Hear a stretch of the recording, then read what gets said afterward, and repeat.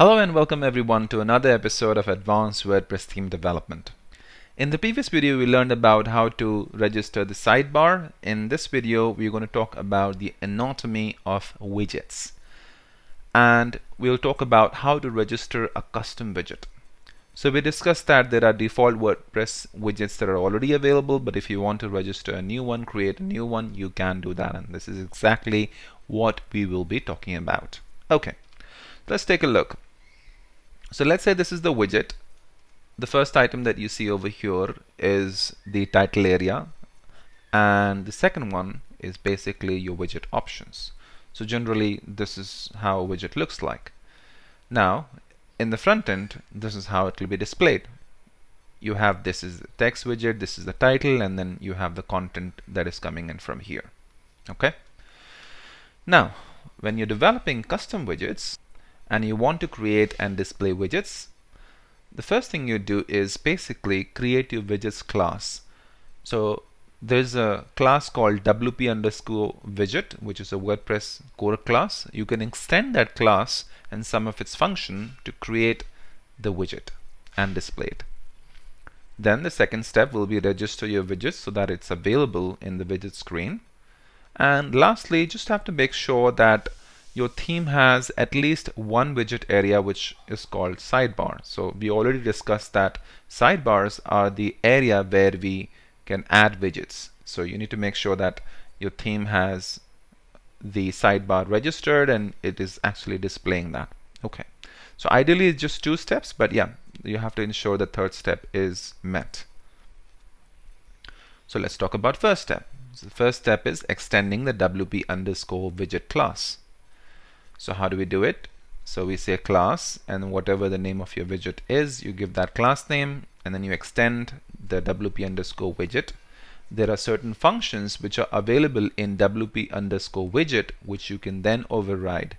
For example, the construct function uh, which where you put the actual widget process. Then you have the widget function which takes arguments and the instance and it outputs the content of the widget there's a function called form which again takes the instance of the widget and outputs the options form in the admin.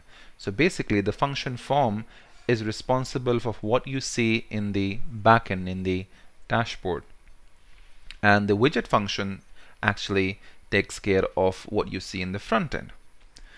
The update function on the other hand takes care of what options that are need to be saved into the database. So we can actually save the data into the WP options table when creating the widgets.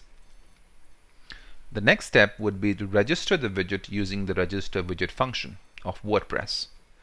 So all you have to do is create a custom function and inside of which you call the register widget function and hook it to the widgets init hook.